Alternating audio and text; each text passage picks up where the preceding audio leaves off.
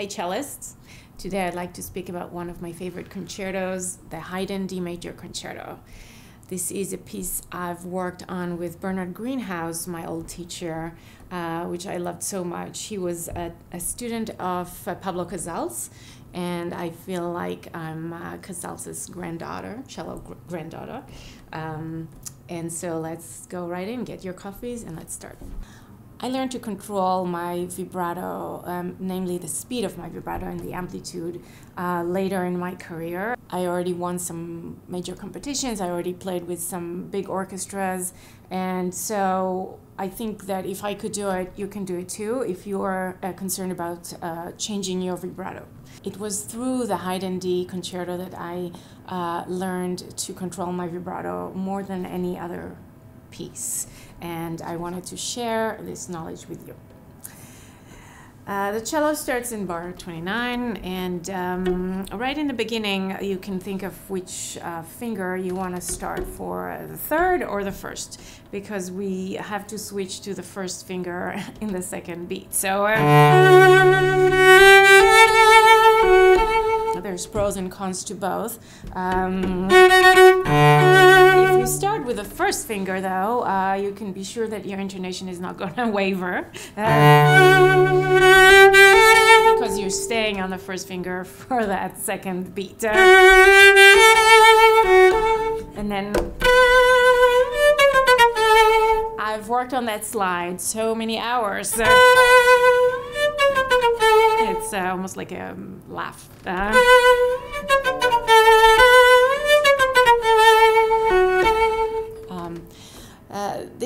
Uh, second bar of the concerto requires uh, enormous control of your bow and your left hand. Uh, you can start down or start with the first finger. Uh, there are um, problems with starting on a down bow because then you really have to save your bow in order to be able to kind of uh, jump a little bit off the string on the second uh, on the this sextuplet. It's of course possible, but I like to start up bow and connect the uh, B and the D.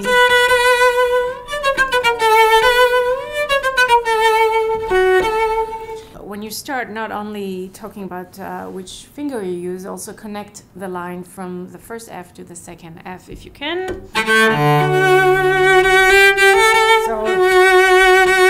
This F mm-hmm. and the second F. Think of vibrating a very narrow vibrato just to liven your sound on those last two sixteenths of bar 30 mm-hmm.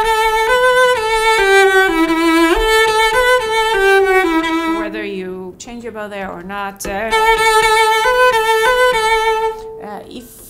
vibrate, uh, many of the 16th notes in this movement um, call for a little bit of livening of the sound, and this uh, can really help you relax your left hand. Uh, I'm not talking about a big vibrato, massive vibrato, uh, just a little wiggle. And again here, on those two 16th notes, G and A.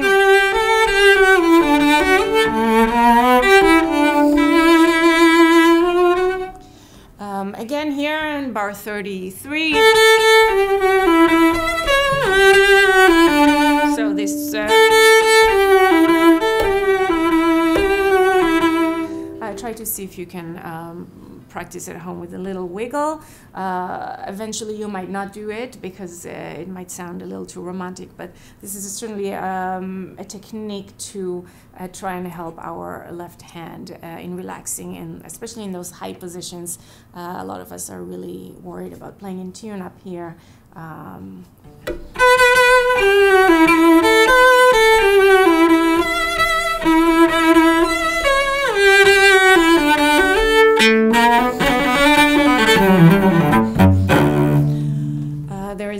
of character, as you saw. I played just now uh, from the lyrical to the more uh, assertive. Um, so here, this is more lyrical in my opinion, and here,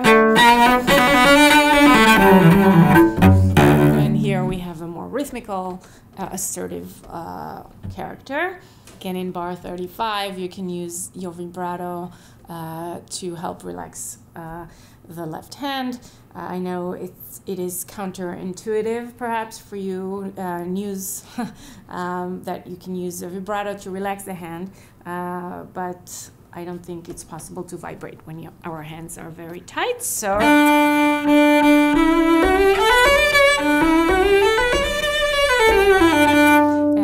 This is perhaps something uh, you can try at home. Uh, I'm not sure you want a huge wiggle there. Uh, and perhaps eventually you will not use any vibrato here. Here, uh, I do suggest you use vibrato in performance as well, uh, in bar 36.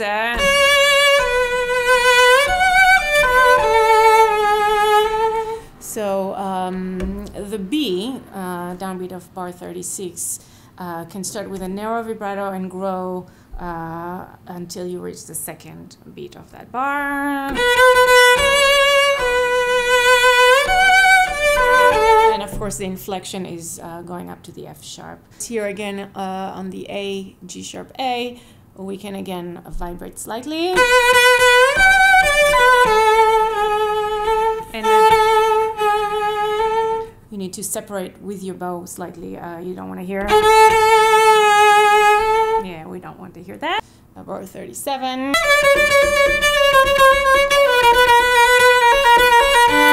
I use a short bow.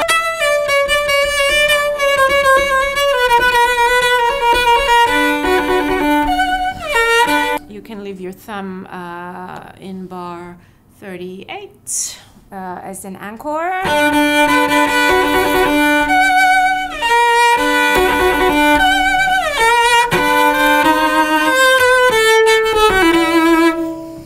In bar 37, uh, you can look online at IMSLP and see uh, the score in uh, Haydn's handwriting and uh, you will see that he left a lot of choices for us, for the cellist, uh, regarding slurs. Uh, one option would be.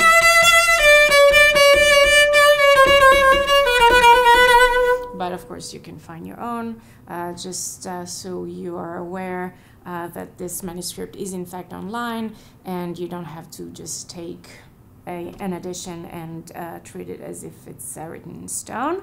In bar 41, uh, I use my index finger to dig into the string a little more.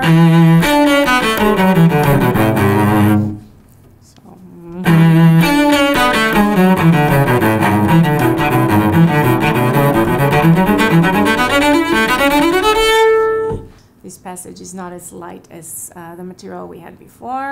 Um, the lower register of the cello also, I think, calls for a more guttural sound.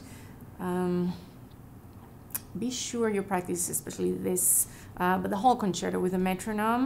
Um, here in bar 42, if you look at the score, uh, the orchestra plays a steady beat and, and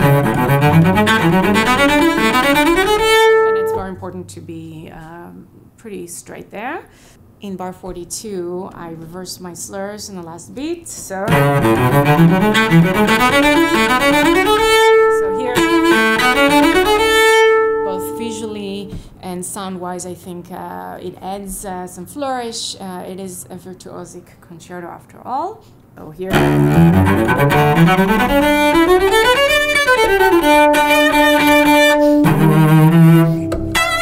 So here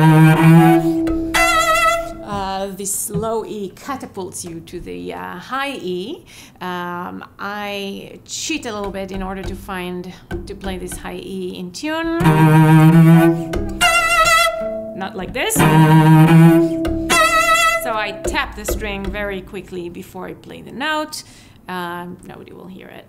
And uh, unless you're recording, in which case you might have to uh, practice a little more. And this brings us to the second theme, uh, which is in the low register of the cello. Uh, the first theme was in a high, more uh, uh airy, perhaps, sound, and here we have a, a more baritone sound.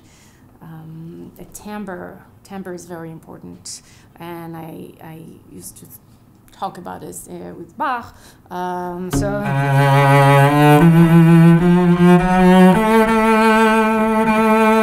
You play your A, uh, first of all, Haydn writes in his own hand sul corda G, meaning uh, stay on the G string, um, on the G string, literally. And um, when you play the A,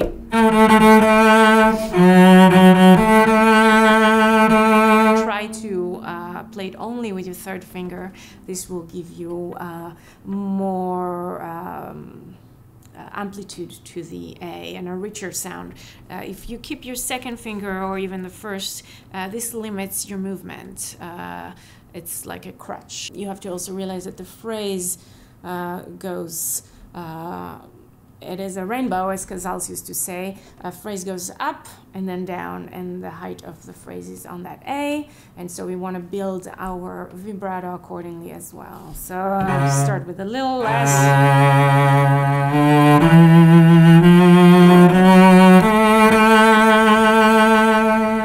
And then uh, the second um, subphrase here. So we have two parts to this phrase. Uh, one,